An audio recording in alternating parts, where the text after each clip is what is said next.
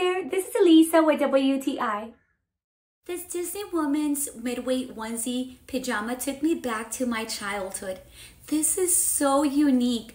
I love everything about it. It reminds me of when I was little and I would always have that very soft fleece pajama that I would love. This is a super unique onesie because it's for adults, made out of cozy fleece with shaped textural character designs, and it comes with a hood that has also character ears.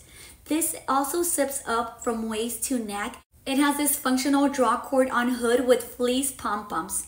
I also love the kangaroo pockets. The material is very high quality. This would make the perfect gift for anybody or for yourself.